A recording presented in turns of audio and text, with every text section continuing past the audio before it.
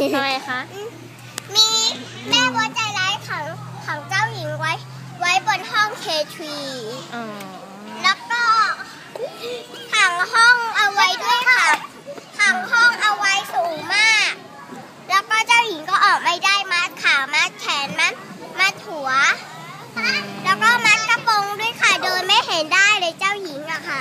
เหรอคะ ค่ะ อ๋อ ใจร้ายมากเลยค่ะ แต่แต่ใจร้ายจีรัสไล่มันออกแล้วก็มีปืน ยิงตายไปหมดเลยค่ะ โอ้เหรอคะ นี่ไปดูที่ไหนมาคะเนี่ย เอาพ่อลุกเร็วลูก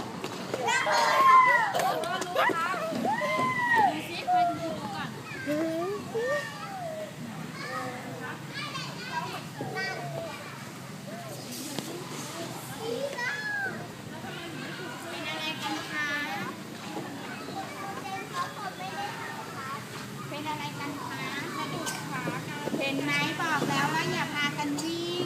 ไม่เป็นไรหรอกเห็นไหมกลัวบอกแล้วว่าอย่าพากลัวหลุดพอวิ่งอย่าไปซื้ออาหารแล้วค่ะถ้าคิดจะวิ่งก็ไม่น้ต้อองงเรนค่ะน้องเรนกลับบ้านค่ะน้องเรนค่ะ น้องเรนกลับบ้านอ้ายไปล้างหน้าลูกเลอะแล้ว ไปล้างหน้านะครับลื่นๆทางโน้นลูกไปล้างหน้านะ ไม่วิ่งกันแล้วนะ